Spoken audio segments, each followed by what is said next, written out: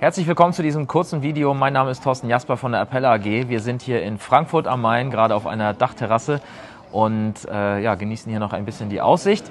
Und wir haben heute schon spannende Vorträge gehört, unter anderem von Hubertus Clausius als Fondsmanager von dem Seahawk Long Short Equity. Und ja, Long Short sagt schon das äh, Thema. Es geht um einen Long- und Short-Fonds.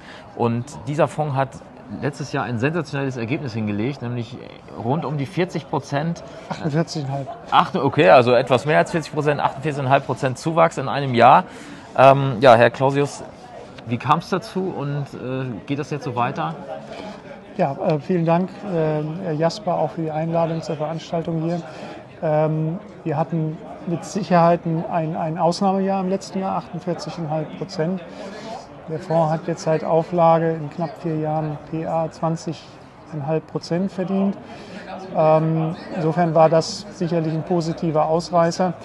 Ähm, wie kam es dazu? Ähm, wir waren exponiert. Fonds ist äh, fokussiert auf die Sektoren Transport und Energie und innerhalb des Transportsegmentes, was im Bereich der Frachtdienstleistung und Containerbefrachtung äh, äh, negative Wertentwicklung auf, äh, ausgewiesen hat, waren wir eher in den Tanksegmenten unterwegs, weil die Tanksegmente extrem fest waren.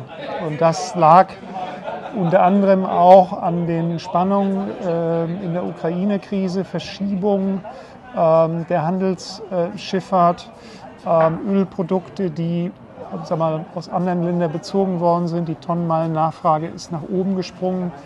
Und dadurch hatten wir ein festes Frachtratenumfeld und eine gute Ertragslage ähm, in, der, in der Tankschifffahrt. Und das hat, war ein wesentlicher Performance-Treiber für das gute Ergebnis im letzten Jahr. Dennoch ähm, ist ähm, die Performance-Ziel des Fonds äh, liegt bei 8 bis 10 Prozent PA. Das hatten wir bei Auflage so formuliert und vorwärtsblickend ist das auch die Ambition für den Fonds. Ja. Was sind aus Ihrer Sicht die Argumente, warum ein Vermittler jetzt äh, Ihren Fonds in das Portfolio des Kunden mit einbinden sollte? Ähm, das sind die Diversifikationseigenschaften. Also wir haben ein ähm, durchschnittliches Fondsbeta relativ zum MSCI World, als im weltweiten Aktienmarkt, von unter 0,4.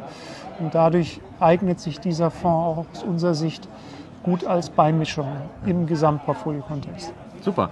Vielen Dank für das kurze Statement.